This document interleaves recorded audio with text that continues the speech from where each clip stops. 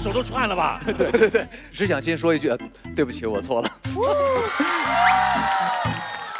我的个性啊，有的时候跟二哈一样，你知道吗？二哈就跟狗跟狗哦是一种犬类，对，就是那种一一有了什么事儿就喜欢，哎呀，咱把这事儿哒哒哒哒说完了嗯就过了。就是我们俩从来没有隔夜仇，但是肯定是有事儿呢，就特别喜欢较劲，不管是在工作上还是在生活上，所以我就习惯有什么事儿就马上就出来解决。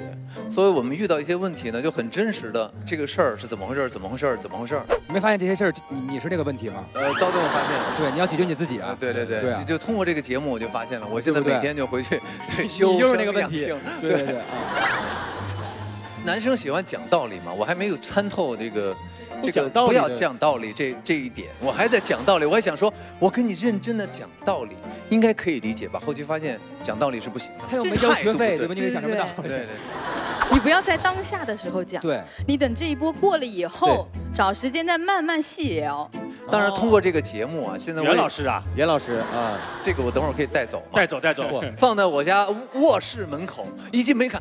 好，先拜山家啊！OK，我呃袁老师 上身一进去就宝宝，然 后我相信真的以后对我们家会更和谐啊。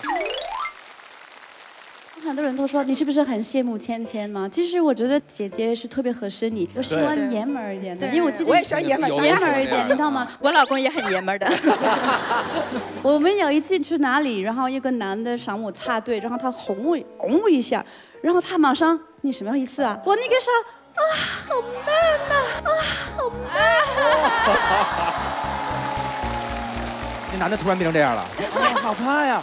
你挤我，刚才有人跟我说，我们跟他们前三年是一样的，我们还是要时间磨合，就是夫妻有点摩擦是很正常，对吧？对，所以我们要找到我们的一些方式，可以多沟通就好了。